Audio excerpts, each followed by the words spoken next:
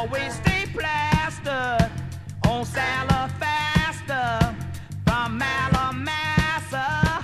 They grow it under a yum yum tree. When I'm plastered on Sal-A-Faster.